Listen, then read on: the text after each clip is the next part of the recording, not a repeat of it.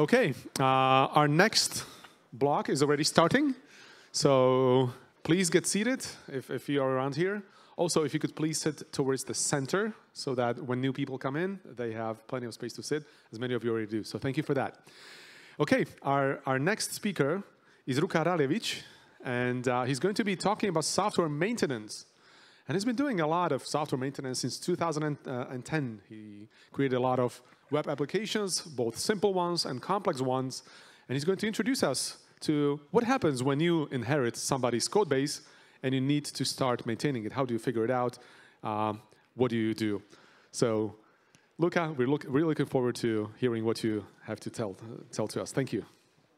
Thank you for the great introduction. Uh, hello, my name is Luka, and I'm a software developer. And I'll be talking about uh, not only inheriting your uh, code base, but also leaving your code base in a maintainable state. So the next guy who comes doesn't have to find out where you live and kill you. So uh, I'm serious, this is no joking matter.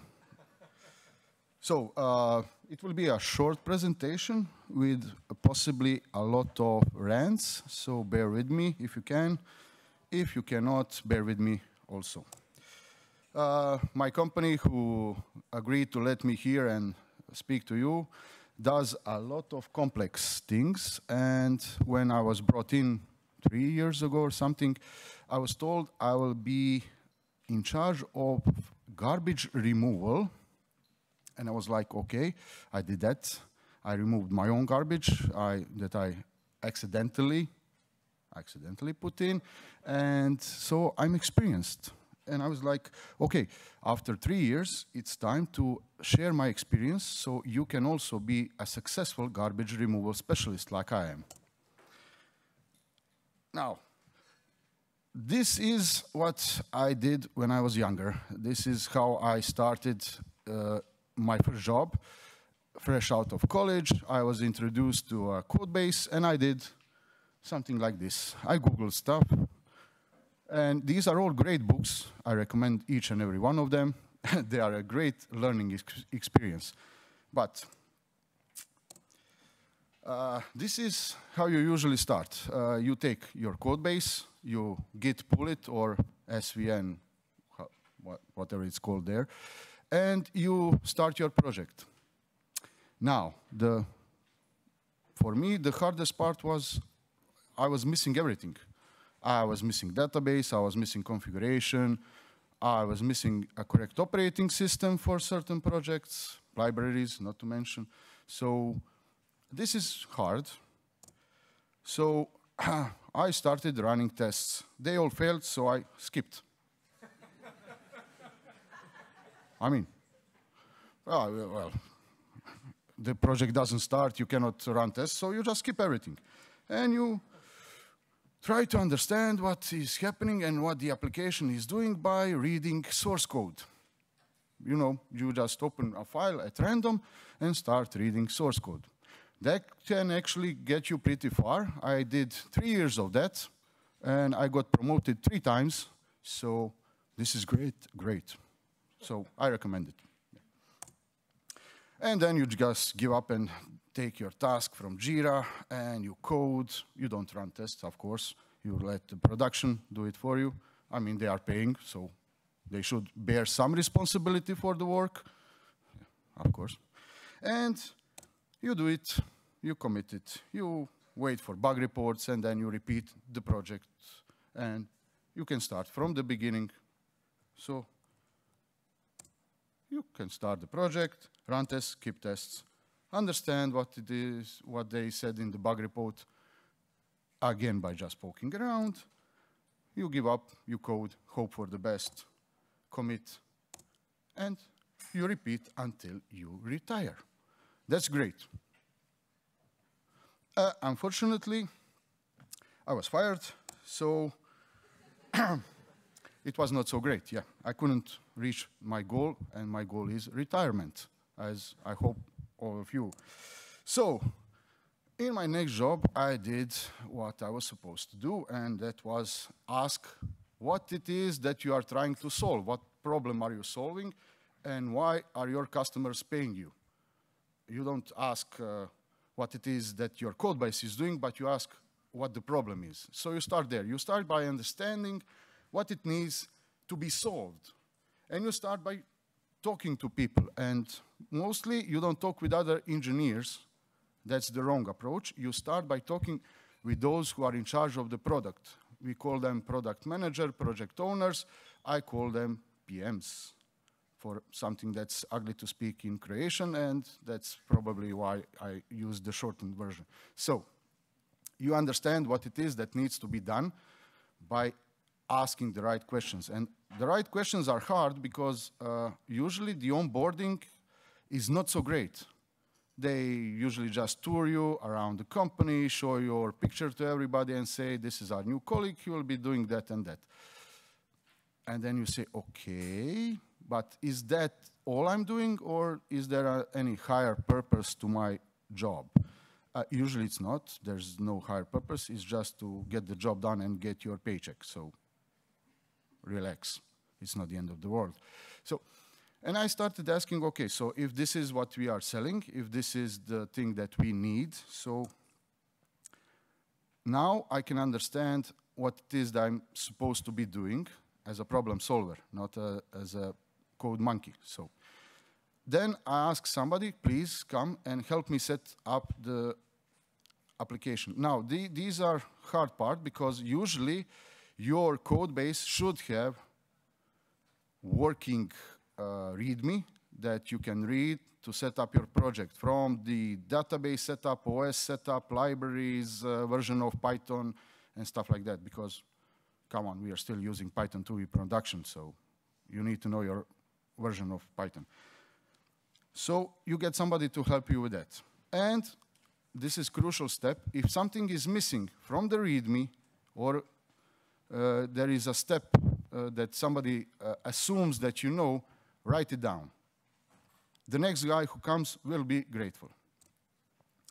So, and then you, when you open up the code and you start working on your tasks, uh, this is the first thing you say, uh, yeah, the guy before me did a lousy job, so I'm gonna do better. Don't do that.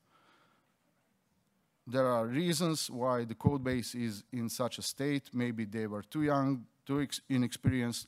They were trying to fight the deadline. And so don't put the blame. Sometimes, yeah, they are to be blamed, especially if you see them eye to eye. You can shout and create tickets, but uh, it's counterproductive most of the time. Now, when you start the project for the first time on your local computer, now you have various means. You have Dockers, you have uh, software as a service platforms. You don't even have to run it on your local computer. Back in the Stone Age, when I was starting, you actually had to run everything locally. Mostly you had to compile libraries for uh, your software version so you can have extensions that you needed and stuff like that. So again, you write down each and every step how to start the project in the README, and you need to keep it up to date. So if you don't do that, the next guy who comes will have to start the old-fashioned way, just poking around. So don't do that. And then you run tests. This time, you don't skip tests. You actually run them. See why they fail. Uh, is it due to missing configuration? Again, update the README, update the configuration, so the next guy who runs tests can run, run them on the first start. And if they fail, find out why. Don't skip. And of course, uh, all this is a process. It, it can take a couple of weeks. It's not something that you need to do in one day. It's not something that you should do in one day because that means that you understood nothing and you just want to code.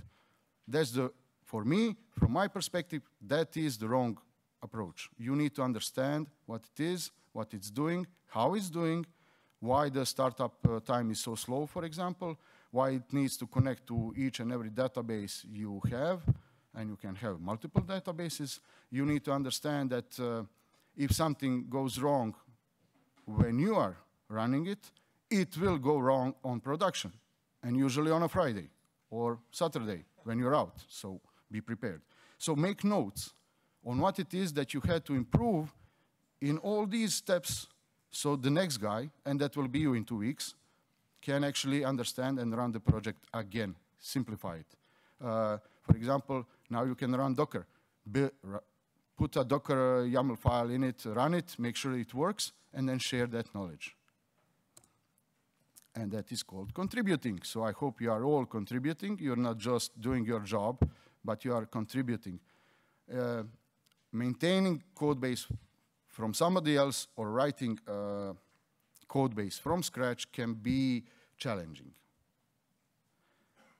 Uh, what you need to do is make sure that all these steps that I mentioned are reproducible.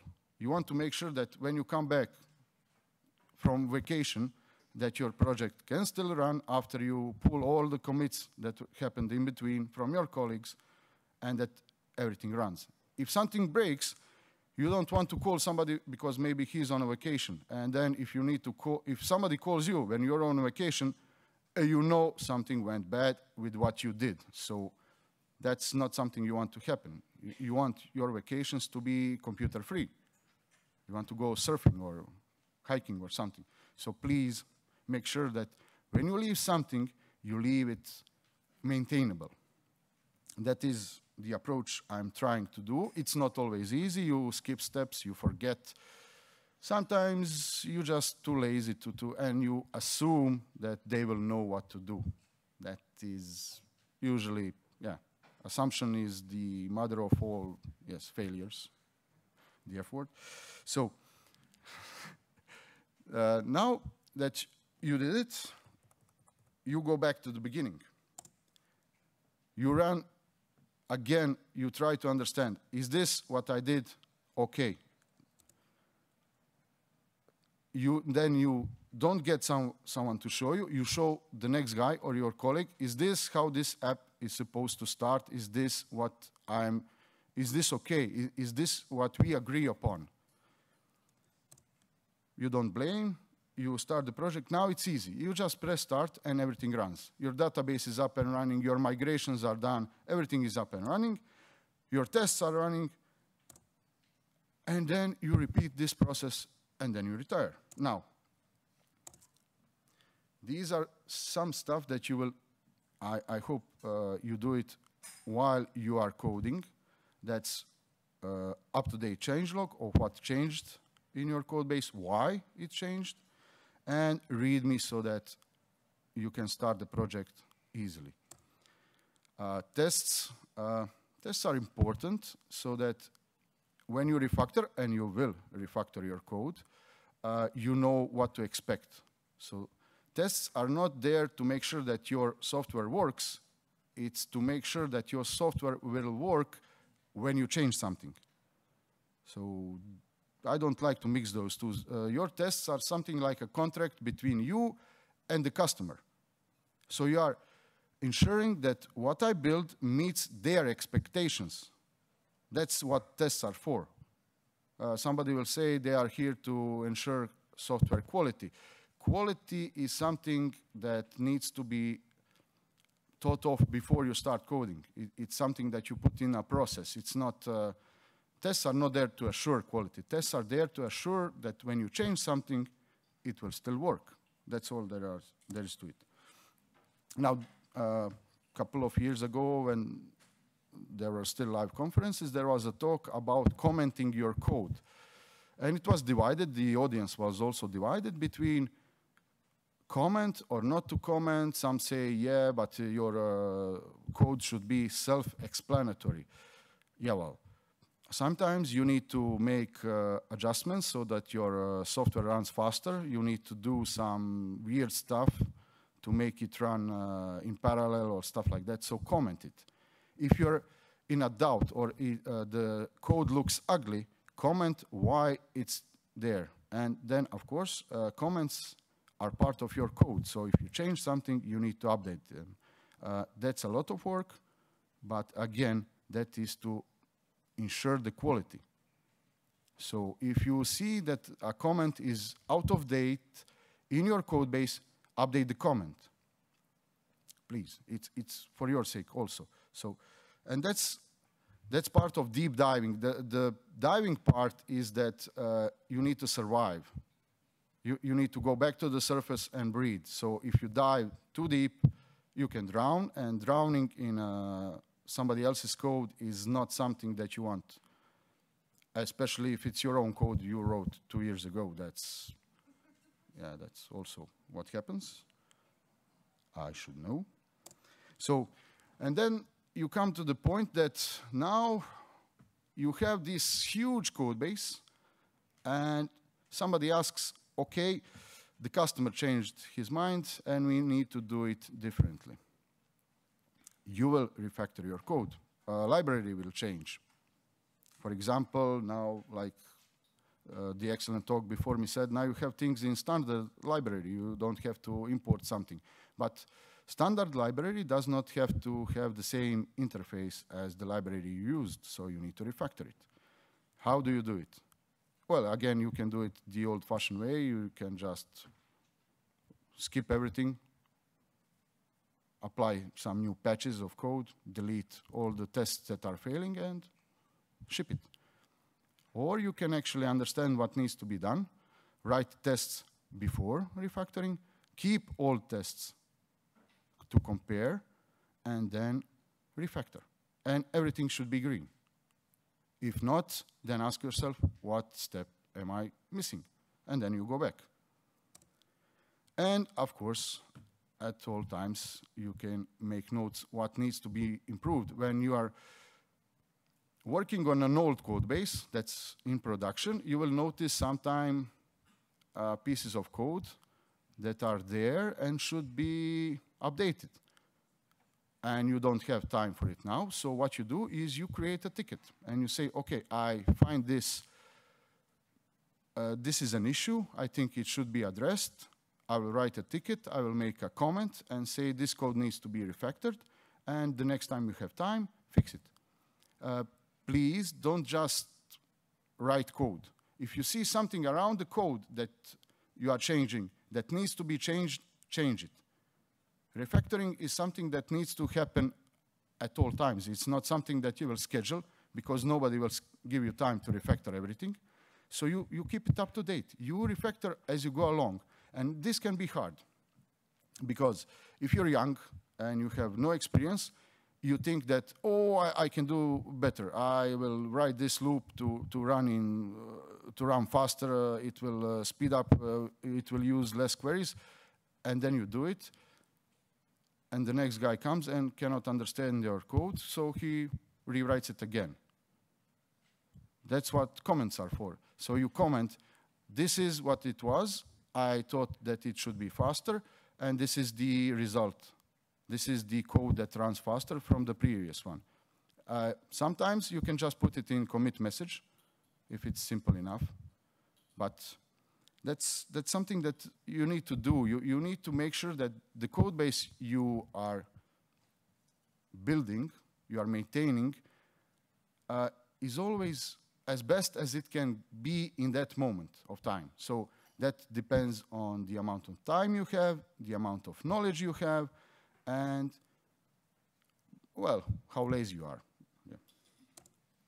So again, that's called contribution you do a bit extra work so you don't have to do it two weeks from now. Also, ask questions, please. Ask your colleagues, ask the project owners, ask the management. Why is this this way? Can it be improved? I see that we are running on bare metal. Do we need software as a service? Can we outsource this to another library or another product? Do we actually need to implement this? Or can we use an existing application? So those are all valid questions. And you should be asking all those questions and more if you think of more questions. So, and this is uh, the main part of every diving. So every diver will tell you, you need to rest. So when you do all these steps, it can take a couple of months. And then you see your results, take a rest. Go on a vacation. Don't answer your phone. Uh, believe me, it will clear up your mind. And if you are working on a complex feature, on a complex code, don't try to do it in one go. Write some code today, stop, rest, and then come back at it tomorrow. You, you will have another view, and before that, ask your uh, colleagues to review what you did yesterday. So code review is something that should be done on a regular basis, not as part of the process that you just you know check. Yeah, I reviewed it and that's it. Code reviews are there to help you to see things that you missed because uh, you can miss things. Sometimes it can lead to bugs. Sometimes it can lead to unexplained behavior because you accidentally overrun a variable that was introduced 200 lines above in the same function that has 500 lines. So you need your rest, you need your colleagues, and you need to communicate. So communication is great. You ask questions, you answer them, you review other people's code. If you are used to working with external libraries, I hope that you are reading their documentation also. If not, how are you using those libraries? That's not something that you should skip. So reading, asking questions should be part of your daily routine, not just code. And now it's time for me to rest, so please do your job and ask me questions.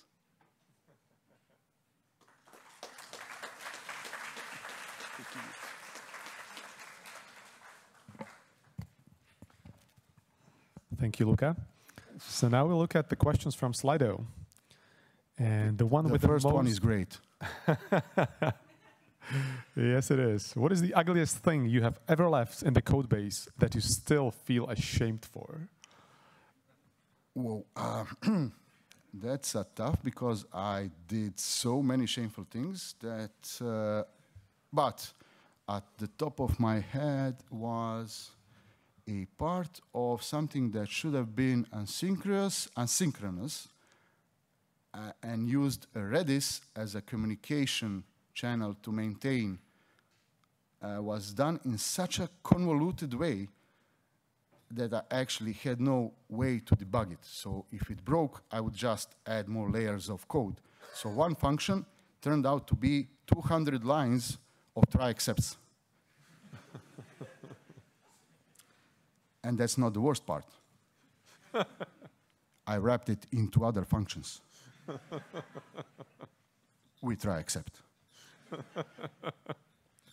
yeah, that's. Okay, the next one. What do you advise not to try on first days in new work with a new code base? Git push.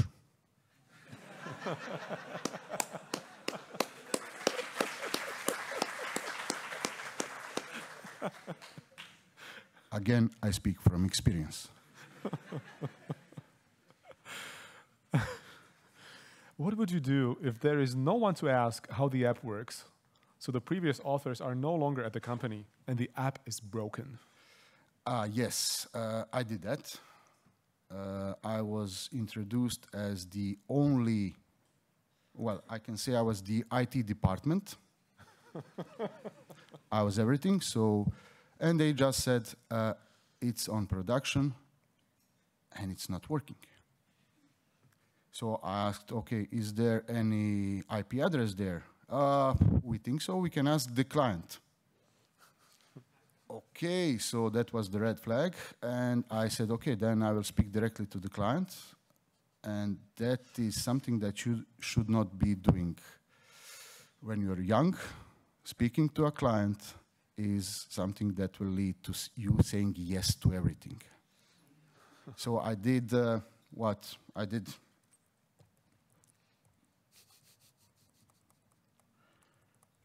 Okay, I did. Uh, I did this. I found out the IP address. I pulled the code to my computer, started poking around, and it took me a couple of days to, to do it right. And of course, I did not update README, I did not add changelog or meaningful commit messages. They were like, it works. No, it doesn't. Fix for the commit from before.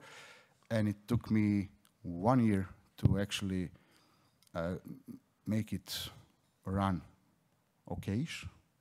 And then uh, the next guy came and he said, okay, how do you start your project? And I said, oh, go take a vacation because this is going to be a long, a long winter. And it was. They left that after two weeks. No, no, no, it was working, but uh, I was fixing bugs for a year and adding new features for a year alone, and I left it in such a state that it was horrible. Horrible. Sorry, but uh, that's, that's the only thing you can do. If the code base is uh, written as I wrote it, the only thing you can, you can do is poke around and see if it will work better.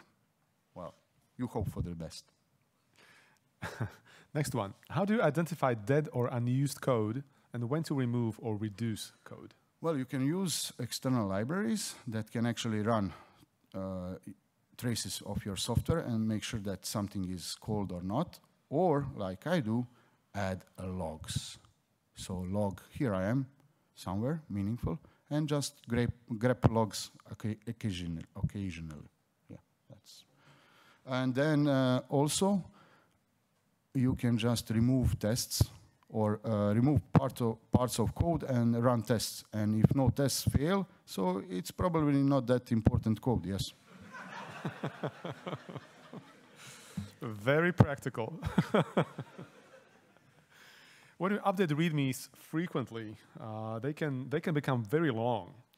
Uh, and then nobody reads them anymore because of the size. So how do you filter what, what you put in the README? Just the basic stuff. So README should be uh, what this project does, what, are, what is required to start. And if you have more than 100 lines, add a README or a structure or a file somewhere on the web. So don't make your READMEs uh, Ulysses. It should be a tweet-sized something that just helps you start the project.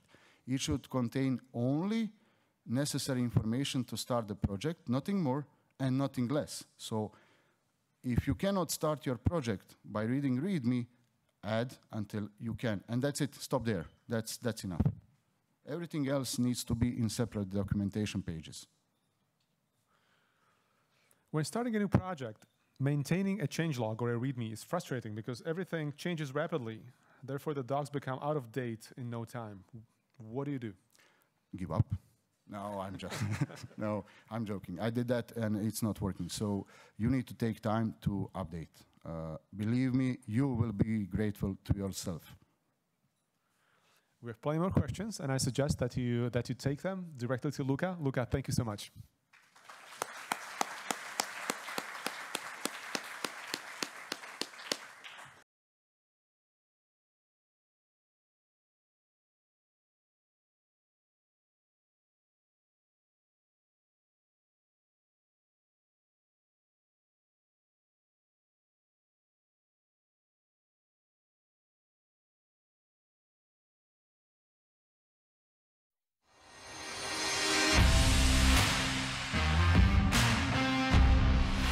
Mikrobit je programovateľný mini počítač, ktorý ti dovolí prepojiť informatiku s kreativitou. Dá sa programovať veľmi jednoducho a ovládať tak, aby robil presne to, čo chceš. O pár minút sme zvládli rozsvietiť vlastný obrázok na displeji a chvíľu sme už obrázky diaľkovo prepínali druhým mikrobitom. Mikrobit má v sebe aj super vychytávky, ako sú tlačidlá, senzor pohybu, kompas a teplomer. K mikrobitu ale môžeš pripojiť množstvo ďalších vecí. Tu programujeme, aká animácia sa nám má ukázať na LED pásiku. Ja som na ňom naprogramovala dúhu. Teraz programujeme podľa nôd kohútika Jarabého.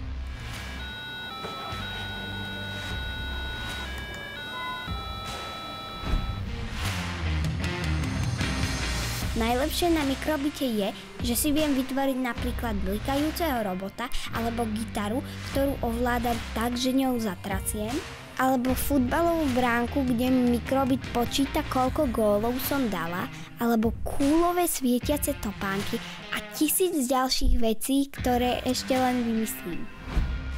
Mikrobit je hračka, ktorú schováš do dlane a vytvoríš z nej čokoľvek. Tak čo s ňou spravíš ty?